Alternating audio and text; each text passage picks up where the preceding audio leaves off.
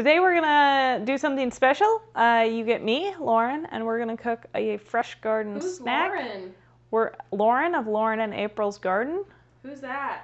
I don't know. It's this channel on YouTube.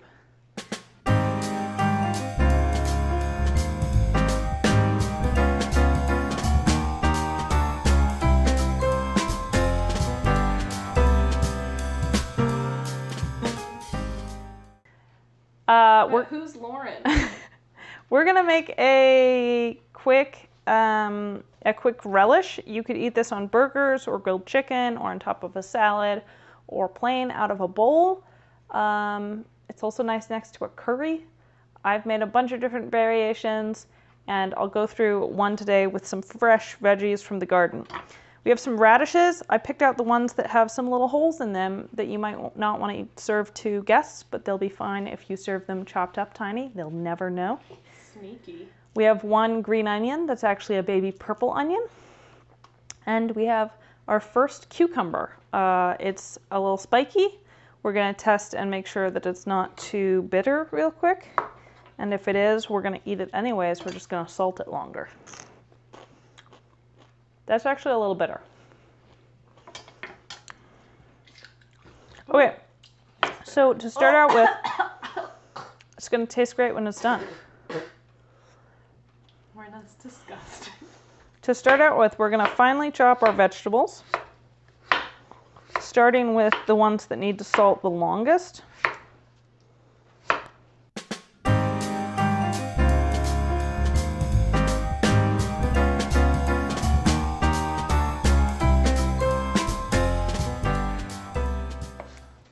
Would you call that a dice? Uh, Mince? it's a fine dice. What Um, would you say? Uh, how much? Let me, should I give my tape measure? What is the size of a fine dice? about two and a half millimeters, April. Great. Hi. So after after we dice up our vegetables, they don't have to be very particular. It's a relish after all. Uh, we're gonna throw them in a bowl. Lauren, I relish in your creativity in the kitchen.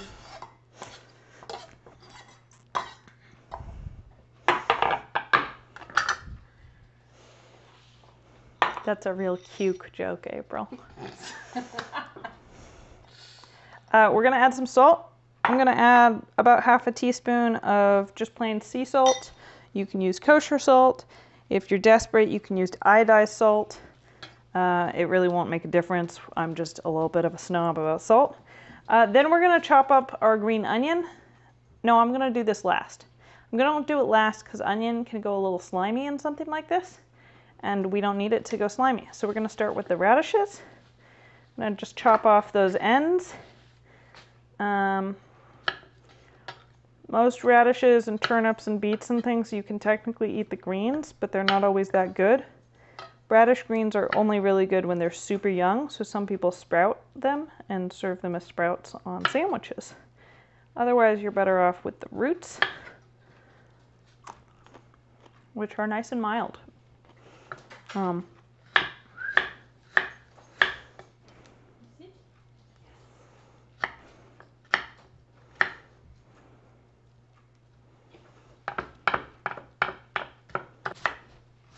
So- Lauren, is this a fine dice?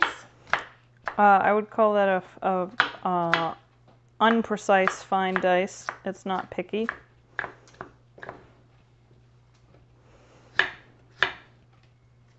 Radishes roll around a little bit, so you want to keep your fingers free, April. Why does the radish look like this inside? Uh, do you actually want to know? Yeah. Uh, because of Tell the viewers they are they have curious minds. They have an unquenchable thirst for knowledge. Well, it could be hollow because of natural causes, like some lack of moisture or something, or a worm could have gotten in it. Yum.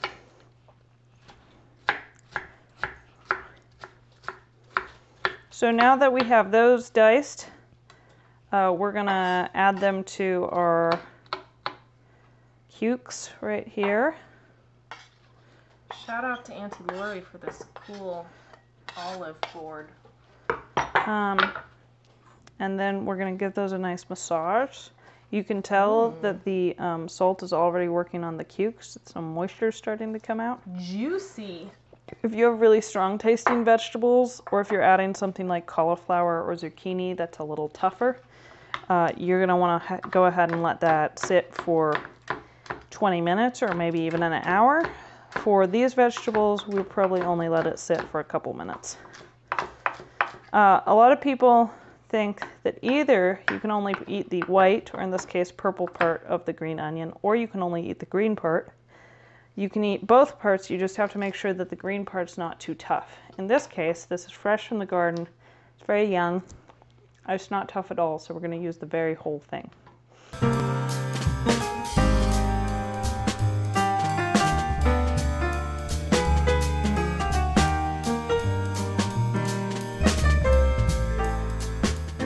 Now we're going to add those in. Um, maybe a tiny bit more salt. The salt's going to get rinsed out in the end, so don't be afraid of using too much. We're going to give it another nice little massage.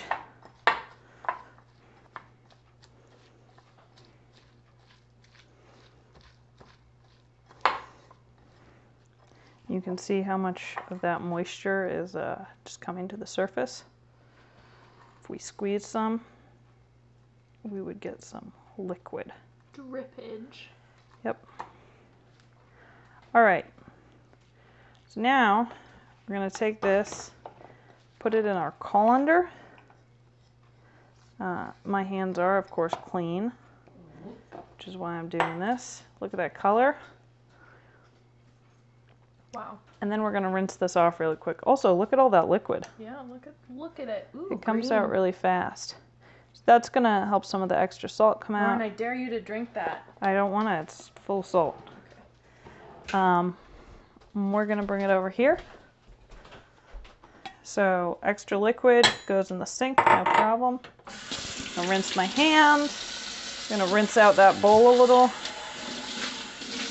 And then we're gonna rinse the vegetables themselves with just a quick rinse to get rid of um, any extra salt.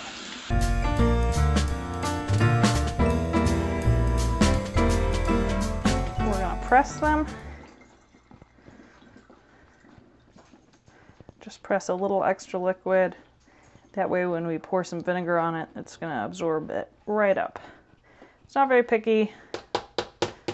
Gonna get this back in our bowl. Dun dun dun.